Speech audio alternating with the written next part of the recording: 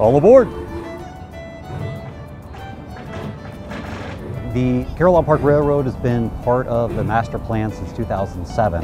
It was uh, adopted as, as, something that was an idea from uh, Colonel Deeds initially when he built the park. In the late 40s, he was looking for a mid-19th century locomotive to have on exhibit here. And It was based on an 1851 locomotive that was one of the first to come into Dayton uh, when, when Dayton got railroad tracks. And so that is what we copied. We copied this model uh, for, for that purpose, and, uh, and that's, that's what we're going to be uh, debuting today. Colonel Deeds was thinking in his, in his plan was a static exhibit of, of a, a 1851 locomotive. We wanted to plus this.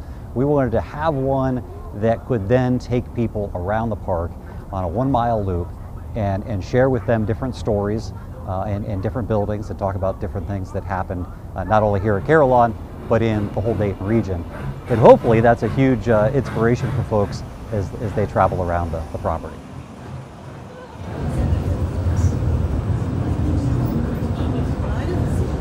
We thank you for being very patient over the last couple of years.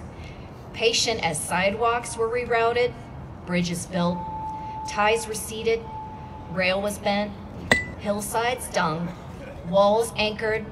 Together, we watched from afar the fabrication of a train we hope you will love. Beginning today, our family, your family, and every family who comes here has a chance to make even more memories by riding the new Carillon Park Railroad. Our hope is that this train takes Carillon Park to a whole new level and brings a lot more visitors to the park. We want everybody to come out uh, and, and, and see the things that have uh, been added over the, over the decades. You're going to see a lot of changes.